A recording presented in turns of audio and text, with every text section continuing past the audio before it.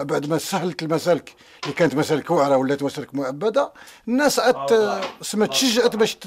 ترجع الأراضي اجدادها وتبني فيها مساكن تختلي فيها. اللي ما عندهمش ديار يستظل تحت الشجرة المعروفة هنا في المنطقة واللي هي بكثرة شجرة